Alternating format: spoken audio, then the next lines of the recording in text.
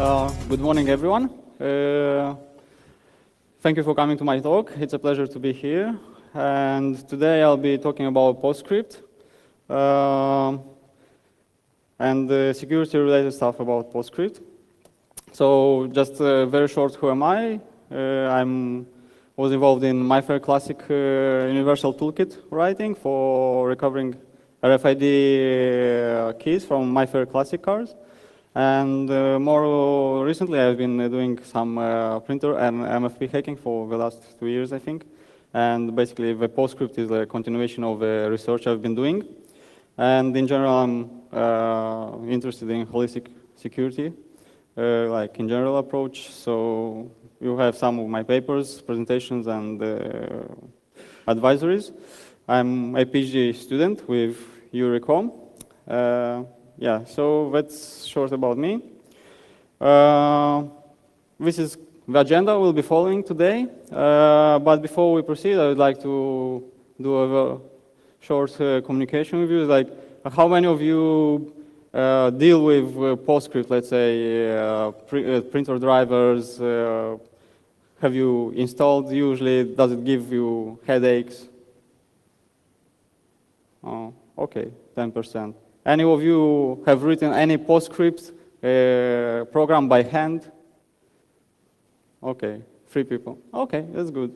Okay, so uh, it's just for me. For I, when I go to conferences, I just want to, to know how many people just code PostScript. Uh, a quick refresher, which uh, it's uh, very helpful because it, uh, I, I, am surprised and to see that even over years and years, uh, there's professionals who are not uh, uh, basically are not aware of the abuse potential carried by the printers and MFPs. And this is a small diagram which shows the, the potential abuse because printers are part of your internal network. It's that gray box at the end of the corridor, which nobody knows where it is usually or doesn't care about it. But uh, from another perspective, or from security perspective, first of all, it's part of your internal network, as you can see. Uh, and it's uh, a trusted resource, right? Uh, because it's part of your internal network, you configure it with uh, username, password for your LDAP, SNMP, and so on and so on. Uh, it prints confidential information, because confidential information sometimes gets printed. Uh, it doesn't have like a lot of uh, patch uh, management or is not very uh, streamlined patch management or uh, vulnerability management. And uh, even in most of the cases or in some cases, it is publicly accessible through the internet because of convenience and because of misconfiguration. And the general idea oh, is just a printer. So there will be no problems just connecting it to the internet, right? Uh, the history of hacking uh, MFPs and printers goes back to 60s when there was a story about Xerox uh, putting mechanical and electromechanical video camera in a Xerox machine in the Soviet Union embassy. So it's not something new, but nowadays it's not electromechanical. Nowadays more digital, but the concept is the same. So you bug the, the machine from inside and you get the confidential information. Um, so from the dig digital point of view, uh, the research goes like from 2002, and it kept uh, uh, occurring every four years, uh, some kind of a pattern. So recently there was uh, a more interest spawned because uh, more interest was raised for embedded devices, and printers fall into some kind of embedded devices. So from 2010 to 2012, there were like three or four different directions on researching security of printers. And basically, starting to, from 2010, uh, I've, when I've been doing research, it's like it's a small uh, screenshot, but you can see the video online afterwards. Uh, basically, on the internet, it's like you can see I've just quickly mapped. It's like less than half a day of work. Just quickly map more than 20,000 uh, 20, printers connected publicly to the internet, and those are like not the, you know, inkjet ones which you use at home to print your photos. These are like enterprise level. Like they have everything. Uh, fax, uh, they have uh, scans, uh, all, all in one, one piece. So basically, the, all over the world, you see a lot of these connected directly to the internet. Just go and hack them. And it's scary. When you see the picture and the video, it's a little bit scary. Uh, then uh, there's other things where, where, where, for example, some legacy uh, um, uh, piece of uh, software has the ability to, to interact with the printer and uh, I've been demonstrating a Word document having non-malicious data for the PC, but it has a malicious stream for the printer. So once it gets printed, the, it uploads a file or changes the screen on the printer. So basically, there's various avenues where you can uh, send malicious streams, and your PC uh, antivirus or IDS, IPS will not even trigger because there is no IDS, IPS, or antivirus solution for the printers. And I'm telling this for the last two years. I'm, I'm not pushing for a solution, but there is nothing which actually tries to, to detect the malicious streams for printers. Uh, and basically, uh, the printing can also be done and initiated through the, from the internet, from the site. So basically, if you send a link, a malicious phishing link, the victim can fall into to the link and there's JavaScript and Java. So basically, both of these can initiate and uh, send uh, directly to the printer of the user, uh, um, attacker controlled and malicious stream. So basically, you have full control. Basically, if you send control sequence uh, to, to the printer, you get uh, pretty much everything from the victim's printer. So again, uh, if a site prompts you to print a free ticket or a, a free something, uh, I would uh, think twice before printing, just a general advice. I'm not saying everything is malicious, but the, the, idea is, is there. I mean, think, think twice before printing is because it's not just only paper, it's uh, the, the embedded device in your printer. Uh, okay, so that was like a very quick re refresher re uh, about uh, MFPs and printers. If you are more interested, you can check the, the previous papers.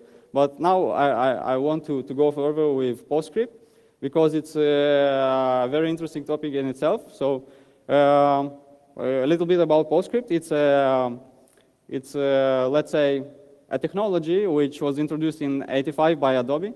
And it's uh, being used uh, as uh, one of the main technologies uh, in the printers uh, world. Uh, basically, it's, you know, there are two kind of printer drivers, PostScript drivers and PCL drivers. And PostScript is like covering 60% of the share uh, in terms of technology, and the idea is that it's, uh, it's one of the first languages which was there for formatting the, the data for the printers. Now, uh, as you can see, the, the, the, picture is taken from, the, from Adobe, and it's very, very, very uh, representative because the road is bumpy and it has unexpected turns. I mean, it was like very, very interesting uh, picture if you see the, the original. So in itself, uh, PostScript is not just carrier for your uh, printer data or for the characters which end up uh, on, on the paper. PostScript is actually a programming language.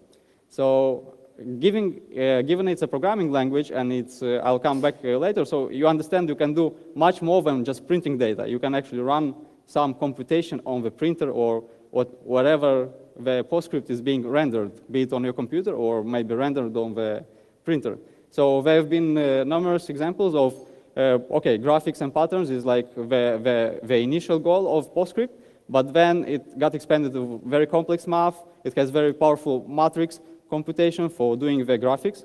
So there were people writing web servers, uh, XML parsers, uh, ray tracing, basically doing really cool stuff in 3D in PostScript. And some people even control their milling machines, like they connect the laser printer because it has a step motor, and it con con uh, controls very, very precise the milling machine.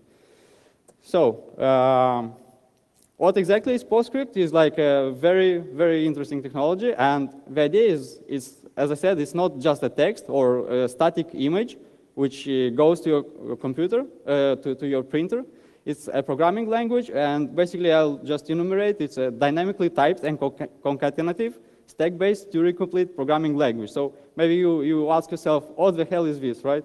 Because all these seem very out of space. Uh, so I'll show you example by example, and I'll just stop now for the Turing completeness is, uh, the idea is that if you have a general computation let's say, uh, password cracking or uh, rainbow table computation, it's a general computation, right? You can take this uh, computation from any language, be it Python, C, whatever, and through the Turing complete transform, you can uh, make it in a PostScript. So basically, you can have a very distributed, large-scale, uh, general-purpose computation platform. So you can use printers for this purpose as well. Just have everything transformed uh, to PostScript.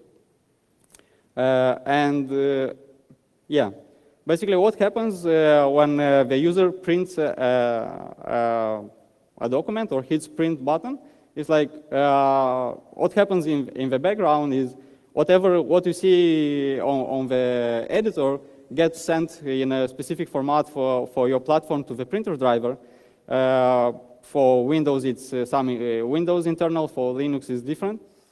so it gets sent to, to the printer driver. The printer driver understands that format, and then it transforms to uh, the, the data to the PostScript, which is the language which the printer understands. And then it just sends uh, the, the PostScript data over the wire, okay, to the printer. Uh, however, for example, you can also uh, see PostScript documents on the, on the computer. Basically, most of you have uh, used or heard about GhostScript, which is the viewer for the servers or for the PCs to view PostScript documents, because sometimes you just receive a, an academic or journal paper in PostScript format and you just open it to, to read it. So uh, in that case, it just gets rendered and executed on your, your machine uh, in the sandboxed environment because uh, PostScript is like, uh, you can think of it as a Java sandbox. Uh, it's a high-level uh, programming language running in a sandbox environment, pretty much like Java. Uh, so basically, you can exploit uh, the, the, sandbox if by shaping the sandbox or doing some other inter interesting stuff. I mean, it's not directly comparable to Java, but the parallel is quite there. Sandbox, environment, very high-level programming language. So again, uh, the very important thing is that the, a program is, is not static data. A program can make decision. It can do the basic if, else, whatever not, right? Uh, so I'll just start with uh, a small uh, demo. It's like the simplest thing of denial of service is just do an infinite loop, right? So basically, PostScript being a programming language, you can craft the simplest document which looks like this, like what, 10 characters, less than 10 characters. And it will basically, on some printers, it, you'll have to reset printers or just hit the reset, uh, cancel button. For, uh, for, for some uh, software-based, you'll just hang the software. And the software is just, you have to kill it. There's no other way you can end it. So I'll just show you how it's done, for example, in MS Office, because you might not know, but uh, I'll show later. PostScript is like uh, in many more products than you actually manage because you have those renderers very deep in the product, but you are not aware because you just see the picture or the rendered final product. But the interpreter is still there. So Office has like an interpreter for uh, PostScript. And for example, if I try to insert a picture, okay. so you see it's like uh, EPS. EPS is basically an enhanced PostScript. It's uh, usually uh, for representing images, but at the end of the day, it's the same PostScript. Why it's called enhanced? Because normally it has like for the software or printers which do not support uh, the PostScript interpreter, it has a binary, uh, a binary um, uh, thumbnail kind of thing, which goes like something like this, whatever. It's in the header, right? And it goes like this. Uh, so for the, uh, for the pieces of software which uh, support the interpreter, it interprets. For the uh, pieces of software which which do not support a PostScript, it will just take the bitmap, thumbnail, and display. Okay, so we have this, uh, this simplest DOS, and we'll just load it.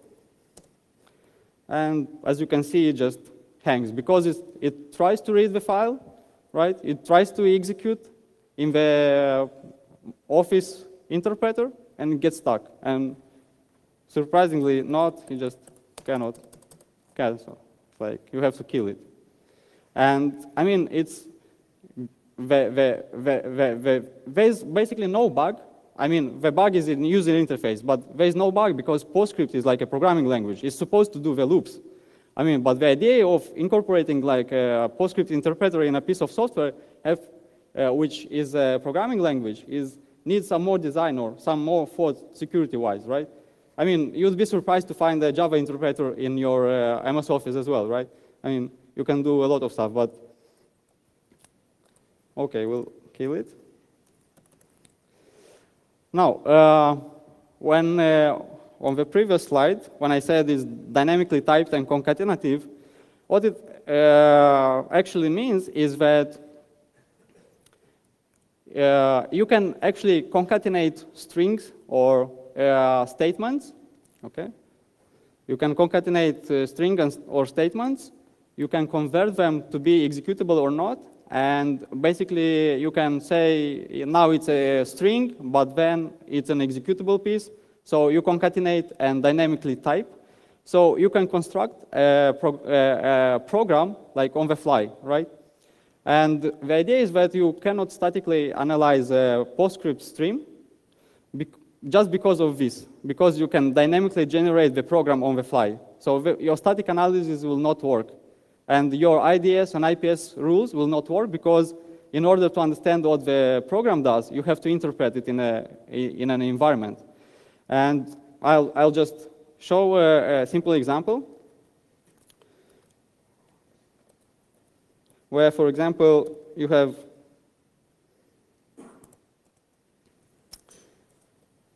Okay, so we have like two functions, uh, concatenate string or merge string, they are both equivalent, as you can see. Uh, and this is our original loop, right, which gets a denial of service on software on printers. This is the loop. But, uh, and it is commented, it's not active, it's here for the for demonstration purpose. Now, these, these ones are, sorry. These ones, uh, the things you see are just uh, strings. They're uh put in, in uh, round parentheses. So this is a string, this is a string, this is a string, and so on and so on. So what happens is you put, in this case, you see it's the same uh, accolade, accolade, and loop, right? And I put this on, on the stack of a, of a interpreter, and then I just, as long as there's more than one uh, string on the stack, I just merge. So all these small uh, sequences will, will merge, and it will end up in a string, which looks like this, okay? And then what you do is you do convert to executable. Here comes the dynamically typed thing, so you can make it convert executable. I mean, it's not executable in the sense that it's a executable for Microsoft Windows, but it's a executable code in terms of PostScript interpreter. So you convert it executable and just fire exec. So I mean, and you can see that uh, this one is the simplest form of uh, creating the infinite loop. I mean, you can go any encoding you like, uh, then uh, obfuscate the code, and you'll never understand what happens because the code is dynamically generated through multitude, basically infinite uh, number of paths you can generate it. You can have a generator, and it will generate languages uh, or a final statement in any way random possible. So, and just execute it. So just for demonstration, I'll, I'll do very quick.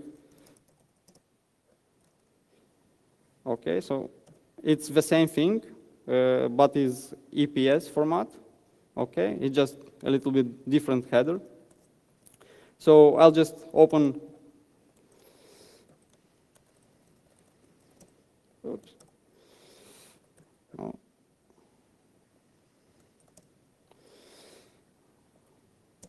So the side effect is the same. I mean, it demonstrates the concatenative uh, nature and the dynamically typed nature of a PostScript.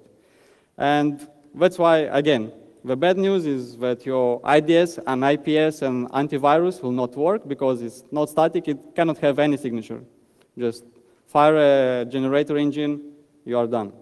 Now, as part of my academic exercise, I'm uh, working on a sandbox environment which would take a PostScript and uh, in a sandbox environment, get a trace of it, uh, see if it's malicious or not. Now, uh, another thing is that, for example, being a programming language is, I mean, how many of you, I, I think at least once everybody who wrote a C program, a backtrack, had a recursive and stack crash because it never ended, right? So because it's a programming language, so you can you can actually do the same in uh, PostScript, where you can take a program and uh, you basically crash the interpreter because it, you, you never end the recursion. So you have a, a, a function A, and you, you call it recursively. As you can see, A calls A inside it. So it's like a recursive function. And if you, if you for example, open or run this uh, sample on various interpreters, like be it GhostScript or MS Office or uh, some other, let's say, even printers, like some of the interpreters being wrongly implemented, they'll crash. And just small example. The bad news for, for, this, uh, for this example is that it's not directly exploitable in terms of by, uh, bypassing from PostScript interpreter to the stack of the MS Office, but you get the general idea. I mean, the, the fact it crashes, I mean, you can try to, to, to find other ways to, to, to get out of the sandbox. So basically just run and crash 100%, like it crashes all the time. And there's other ways to, to exit the, the sandbox, basically, and uh, get to the uh, memory space of the program which uh, in incorporates the interpreter.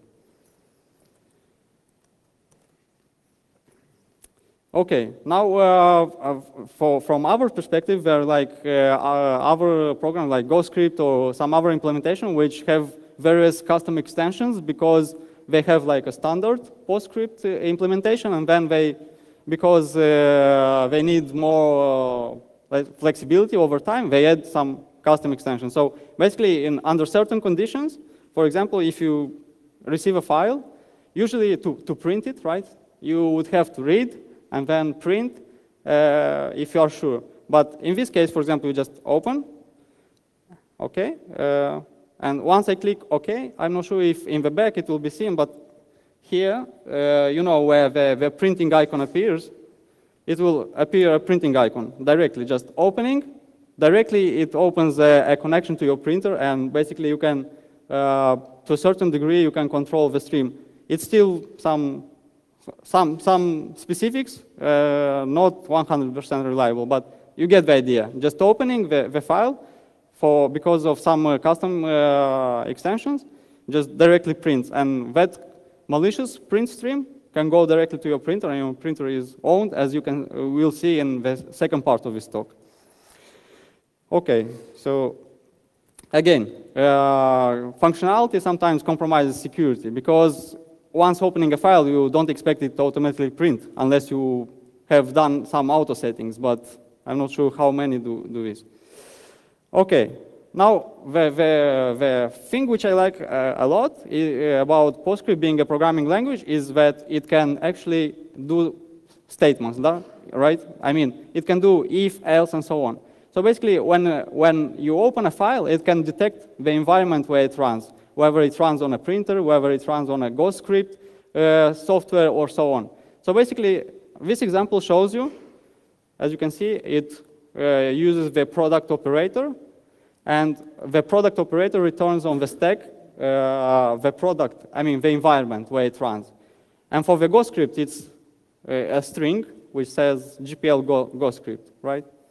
So basically what the, the, the PostScript can do is like you have a PostScript file having a malicious payload, which I'll show in the second part, has a malicious payload. And it executes, for example, only on a printer X.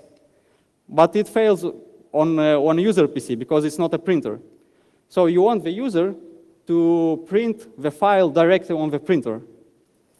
What, what uh, the social engineering part is, you display like uh, if you detect that your environment is computer-based, as, as you can see here is an if-else, right? So the first part is the if. If it's GPL Go script, then it displays the image. And the image can be a social engineered part, which says the printer driver encounters unexpected error. Please print this document directly using the printer interface. So basically, you can social engineer the user by putting some fake uh, image. So the user will take the file, okay, if the operating system or the printer driver says print directly to the printer, just go to the interface of the printer and, and dump. And in the else branch, the malicious stuff goes here, which means that you put the malicious stuff for the printer. And when the user goes and prints the, the file on the printer, it gets executed on the printer. And another part is, for example, again, it's dynamical. So you send a, let's say, a PostScript kind of document to, to, to a guy. And usually what, what happens is the user flow is like this. You open a contract or a document, you read it, and when you print, you expect it to be the same thing, right? I mean, you, how many of you printed like 100-page contract and go again, after reading it on the screen, go again and read it from the paper? Nobody did, right? You just read on the screen, print, sign, stamp. So basically, because it's like dynamically typed, you can have a situation where you send like an invoice or a contract where it says, okay, pay 100 euro. The user sees the terms right. He clicks print on the printer. There is like an if else and say, okay, let's put it 1000. Why not? The user will not go to page 128 from 1000 pages and read the exact number. And he'll just sign. What is signed is signed, right? So again, it's like a good example. I mean, I know technical stuff doesn't get through very well, but this kind of business stuff gets very well through. So, I mean, uh, of course, it's not very common that business people exchange documents in PostScript format, but you get the general idea. So, and you'd be surprised that basically when I started uh, finding these PostScript uh, pieces and bits uh, where it runs, I actually started from printers, but then Surface seems to be a little bit wider. So basically, I try to do uh, some kind of chart and categories. At the bottom is the, is the Adobe's PostScript interpreter specification, and based on this, uh, there are imp implementation of the PostScript standard, which uh, the result of which is a PostScript interpreter, which uh, most of uh, software base is uh, GhostScript.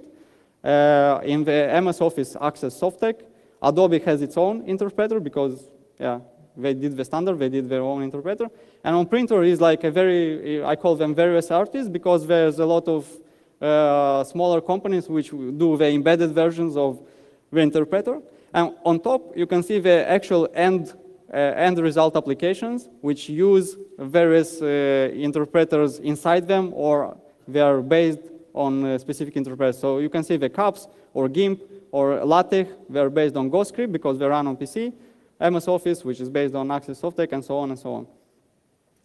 Okay, so another uh, perspective of seeing where, where the affected software is, uh, is, for example, you have a network, and I try to make a category where potentially you can find these pieces of software. So basically on the client machines, you can find this part of GhostScript packages, Office, or Adobe products, not all of them.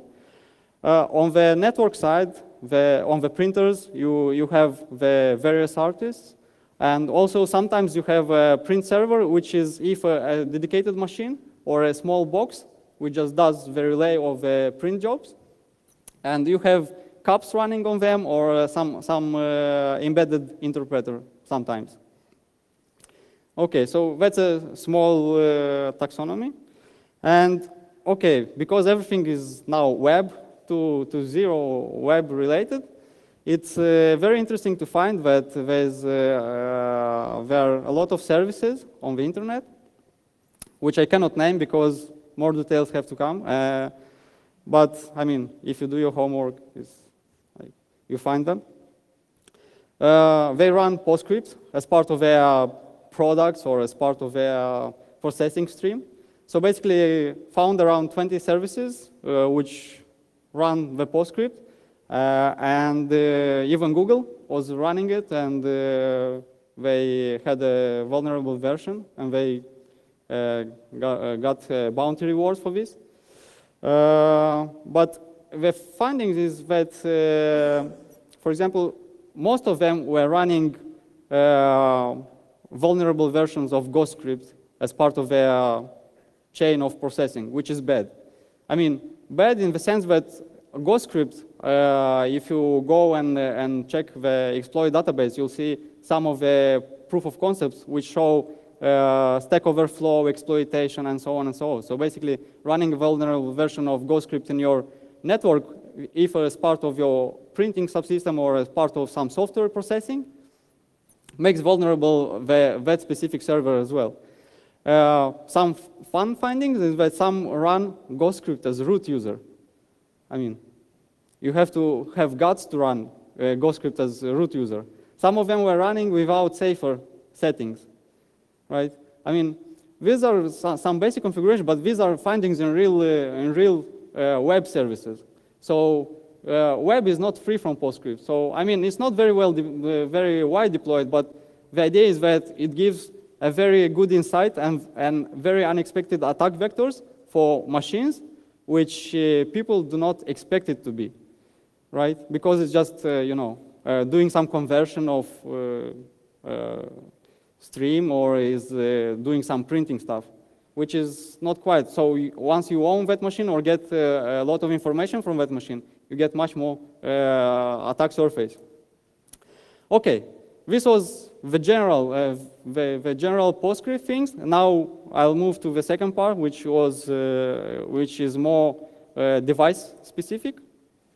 So as, as, as, as part of the, the printer uh, research, yeah, as part of printer research, uh, Uh, once we uh, found, I find the way uh, to, to um, basically embed commands in Word document or in JavaScript or in Java to reach the printer, I got the way to, to, to, send, to send something to the printer, which I can control. The next logical uh, step is like, now you, you want a payload, which does something, right? Once you get your foot in the door, you want the proper payload to send. And the, we start, uh, start thinking, uh, there were like two easy choices, PCL and PostScript. PCL is just uh, not a programming language. PostScript is a programming language. You can do more. So uh, go, uh, we, I go for, for PostScript. And basically, we start looking for, for products which support PostScript and uh, do firmware analysis, automated, semi-automated ways, sometimes just manually. And the, the, we come, uh, I found the, the documentation, which is good to read documentation. Again, if you're not reading documentation, read it. Read it twice, because it, sometimes it just gives you very precious hints.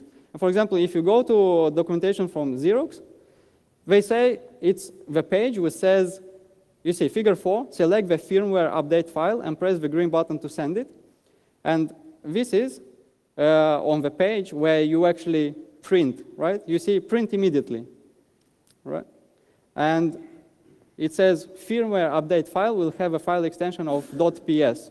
I mean, doesn't it raise this question when you see a PostScript file which does a firmware update? Of course, it has very, very nice stuff in it. And you go grab it and you go analyze it. So once we, okay, decompile, and the, the good part of PostScript, okay, if it's not very well obfuscated, because if you do it proper way, it can be obfuscated very well. But usually it comes, you know, free with the source. Everything is like JavaScript in the early days. Everything is with the source. So we start obfuscating, decompiling uh, the, the uh, PostScript firmware update, and actually found various uh, APIs, which basically is an extension of Xerox. They have a basic uh, PostScript interpreter, and on top they have some customization uh, layer, which helps them do some management or some additional stuff with the device. So they had VxWorks plugs API. So basically you can uh, communicate with the VxWorks operating system. Uh, they have debug and QA APIs like generate crash error, generate pump error, and so on, various uh, QA stuff. They had logging, pump, you could send some uh, pulp, uh, uh pump parameter for, for ink. Billing meters, RAM disk, RAM, and flash. And basically, the, there were several uh, directions which were possible to go uh, if a full VX works, but it requires a lot of work, and basically you have to know the exact VXWorks version and to have the executable, and to have the executable to exploit, you have need to have a development environment, which is, again, very specific. So uh, what is the simplest thing? If you see, I mean, pick the simplest thing which somebody from you would choose to go. Hmm? Yeah, RAM. Yeah, RAM. I, okay, RAM disk is, yeah, good, but RAM. Yeah, you go directly to the RAM. I mean, if you have RAM, you have everything. And actually, uh, some, uh, some institutes uh, says that 2012 will still, the memory scraping on mobile devices on, or embedded devices will still be in top 10 uh, threats. Memory scraping is the simplest. You get to the memory, you get everything. So, okay, we, we did the memory dumping. It's just a screenshot, but the idea is that you go for the easiest chain. And the memory dumping is, is very powerful. So basically, as part of, of, uh, of memory dumping, basically we set and had, to run a memory dumper in PostScript, which is not quite a, a, funny thing to write, but when you end up with good results, you're satisfied that you run you, you wrote a PostScript memory dumper.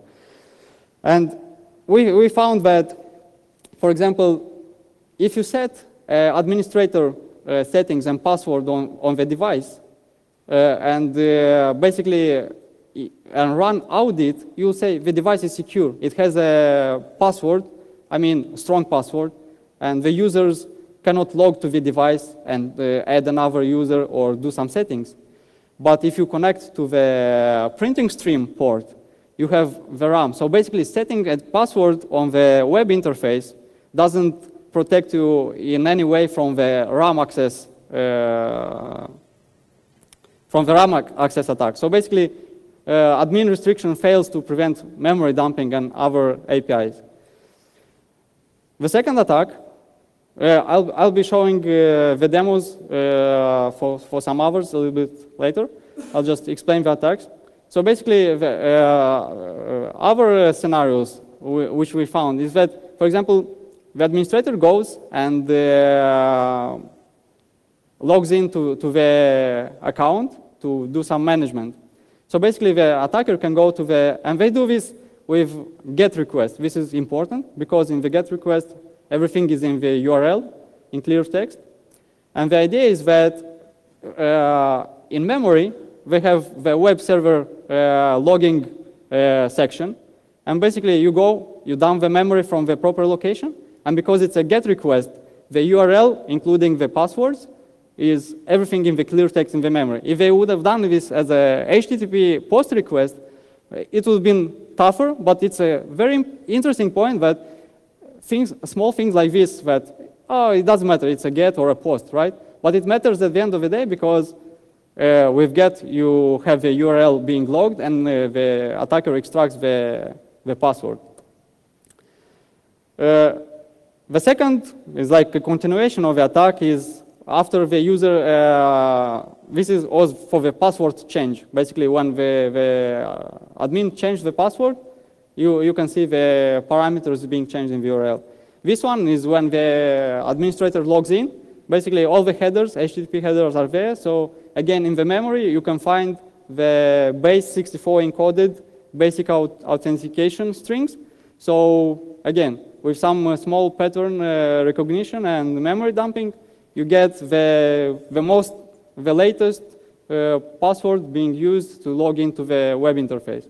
So the device is again compromised. And basically you, the, the solution which people uh, try to, to, to say is, okay, put SSL. SSL is secure, never mind the expired certificate or uh, self-signed certificate, just close their eyes. It's fine. I mean, it still works, it's, it's good. But the problem is what to do when your private key is being leaked in, in memory. I mean, this is also a part which has to be properly analyzed when it's not only for the printers, but I mean for all the embedded devices, right? I mean, how many of you, uh, uh, so, or uh, how many of developers, not you, but general developers, uh, after implementing a very secure solution, go and scrap their memory to see whether they are leaking stuff or not. Not so many, I think. And they, they done this, uh, this as well. They didn't check that actually the, the private key is being in the memory leak. So it basically uh, cancels all the benefits of SSL. And also, there are some default keys uh, which are in, uh, being used in examples, and they reuse it with a copy-paste manner. Okay, uh, the other thing is that when uh, a user uh, sends a document to, to, to the printer to, to, send, it can send the classical way, which means uh, plain text and no password.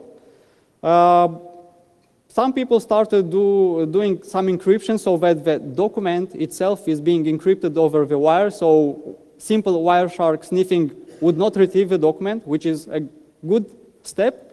But the core idea is that how good the encryption would be on the network, anyway, that file would be decrypted in the printer to be able to be printed, right? So at the end of the day, it will be somewhere in the memory in clear text.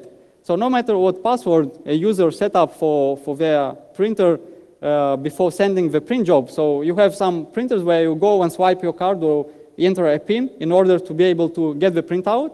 So the people think that by putting that number or having the swipe card, uh, basically encrypts everything, which is a false. Uh, actually, it's a, it's a false friend. It, it gives you a false protection. You think you put a pin, everything is secure.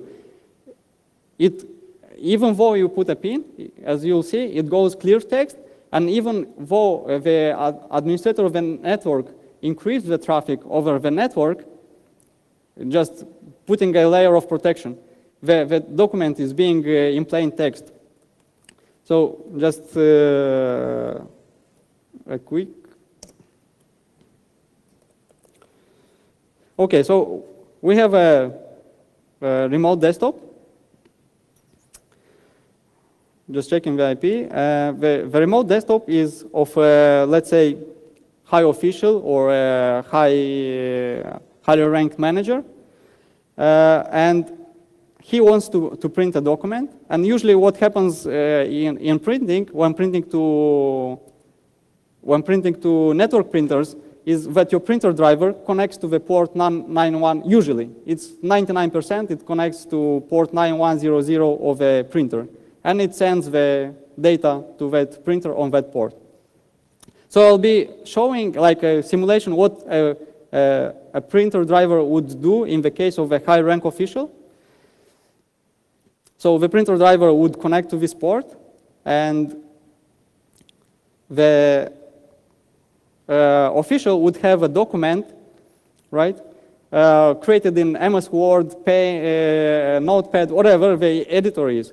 And uh, when the high rank official, let's say, introduces a, a password or a PIN, it gets uh, usually gets set as a PGL set hold key like 1337, whatever, right? And or a password. It can be like for some specific models, it can be user key and the alphanumeric. When it's hold key, it's only numbers. So the, use, uh, the high rank official thinks, okay, I've put password, I have put my PIN, and let's print it. The printer driver, driver will take those uh, PIN numbers and so on, will create this post, PostScript data, data stream, Okay, and the title of the document would be very secret and encrypted document because we want it to be secret and it's for the high rank officials.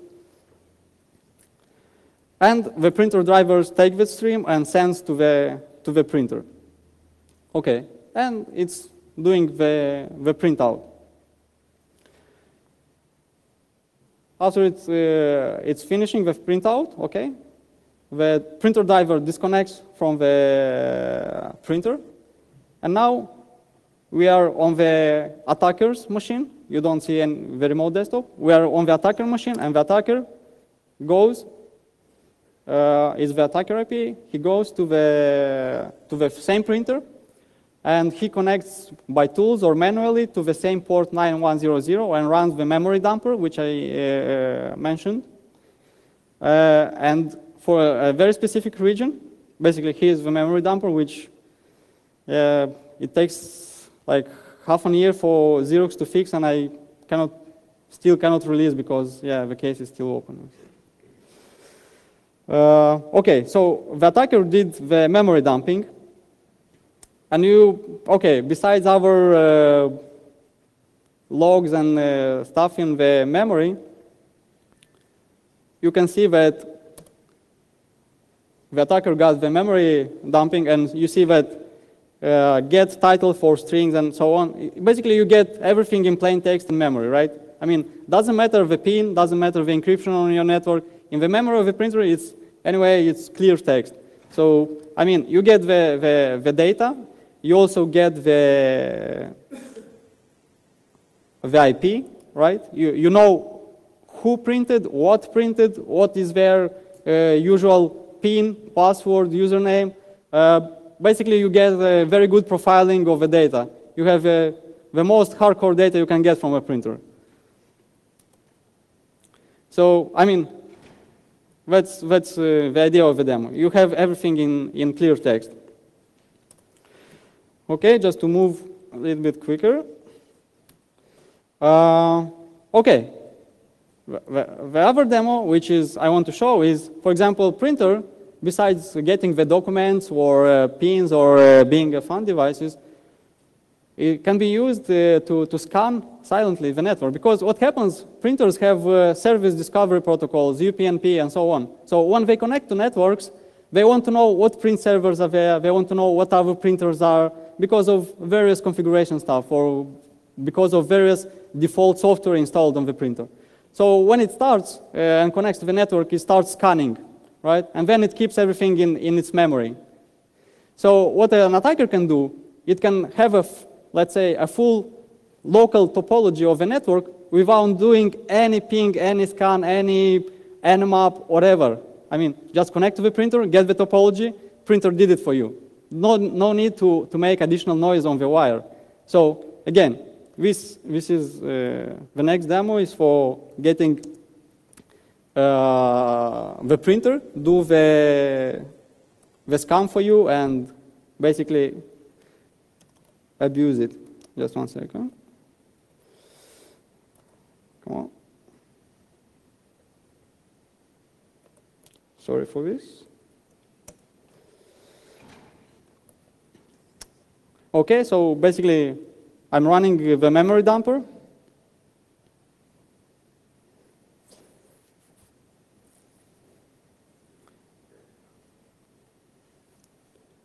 It's uh, a little bit painful with the memory dumper because some regions are not mapped and the, the device keep resetting. So to get a real mem memory map is it takes some time because the device, when a printer, big printer resets, it takes like five minutes for it to warm up back, get back online, check all its trays, check over, you know the noises.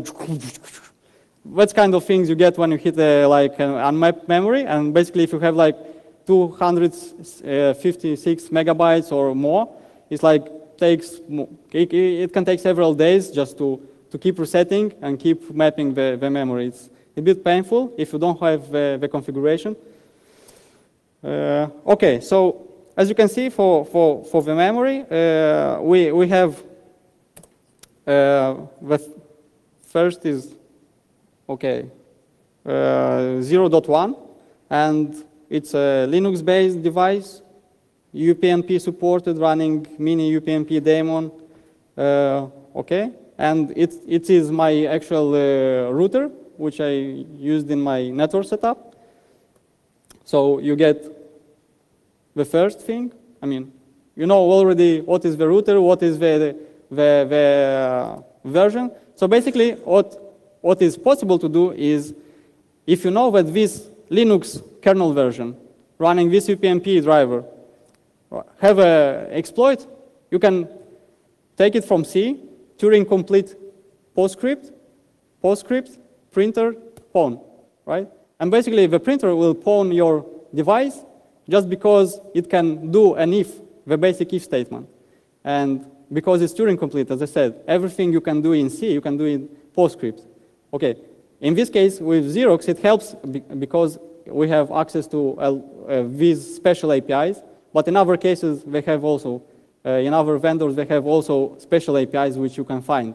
So the idea is that You can take any exploit, put it in PostScript, and check for exploitable devices from the printer. Yeah, we, we also have another device, which was another uh, printer. It was a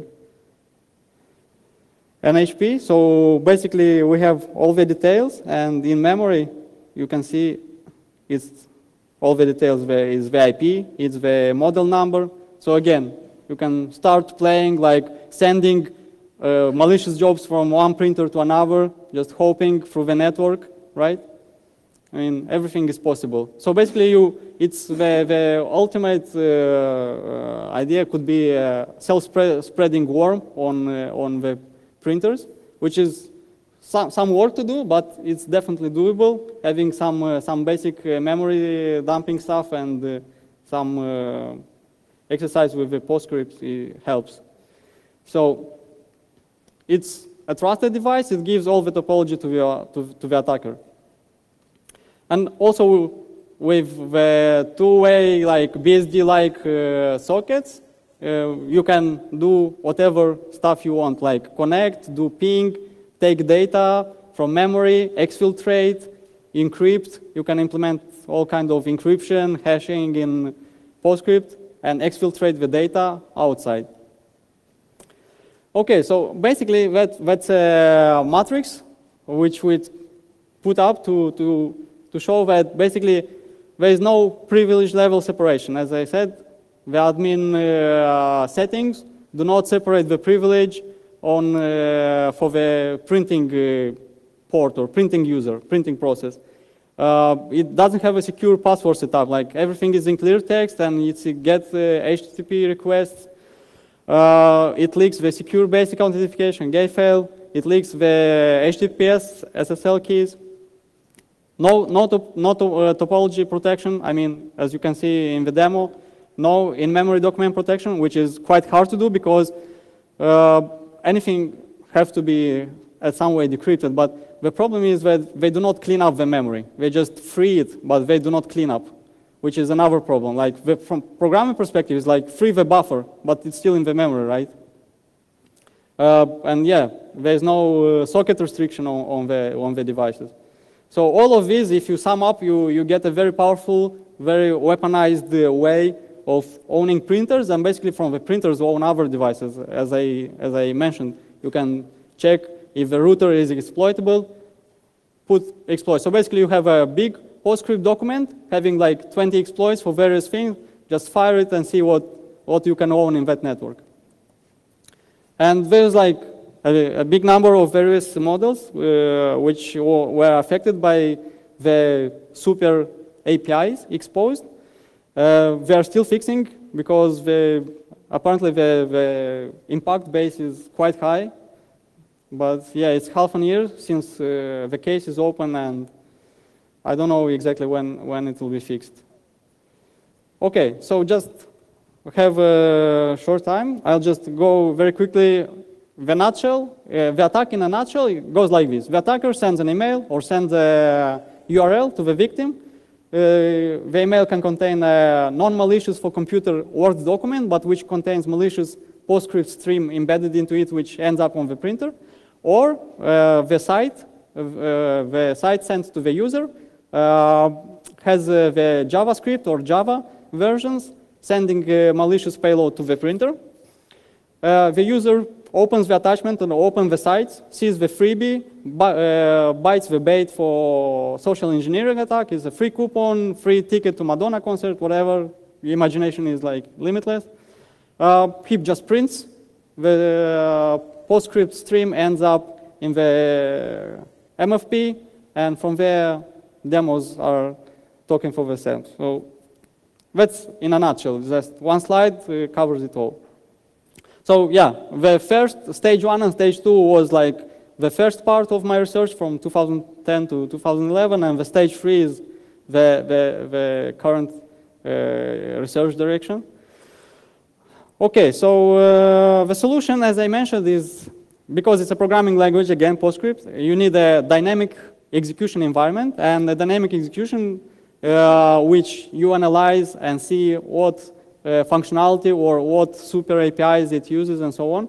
So basically, uh, I'm working into ha having a sandbox environment where you, you upload a PostScript file through the web interface, for example. It will be published maybe in one month, I hope.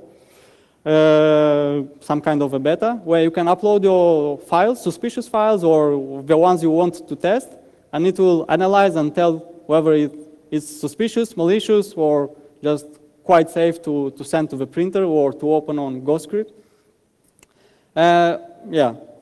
Uh, on the offensive side is a very interesting uh, idea to integrate some of the, as I mentioned, to take some exploits from Metasploit, put them in PostScript format because it's portable, it's platform independent as well, and uh, have them integrated, uh, basically port them to PostScript, and then, depending on the platform, integrate in various uh, vendors' exploits. Uh, yeah, some solutions, I'll, I'll just go very quick because I want to leave time for questions.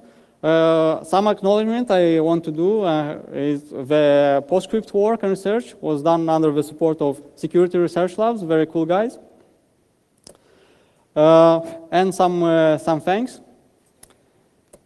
So the takeaways uh, for this is that MFPs are like very badly secured in general. They carry a big potential for attack, big attack surface. Uh, there might be upcoming I, am not doing FUD or hype, but it's a potential uh, for upcoming attacks in form of PostScript streams, like whether by file or by URL or some internal attacks. Uh, and uh, basically securing MFPs requires better segmentation, better thought on designing the network. It requires uh, better software solutions, which are like ancient world. You can uh, check my upcoming papers uh, and the videos uh, from this talk and from previous research you can see on my YouTube channel if you're interested in the map video or in the Word document video. Uh, you can write to this email and basically that's it. Thank you very much. If you have any questions. Ah, Andre, thank you very much. I'm afraid we're out of time, so I don't think we uh, we have time to do any questions, but uh, I'm sure people can okay. reach you or... Uh... Okay, so thank you very much, thank Andre. Thank you very much.